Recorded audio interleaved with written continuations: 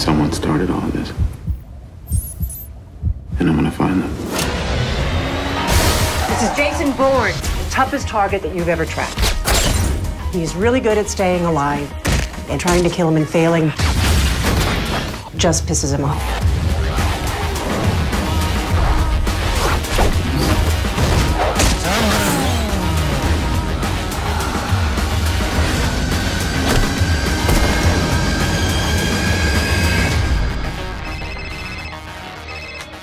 Pamela Landy.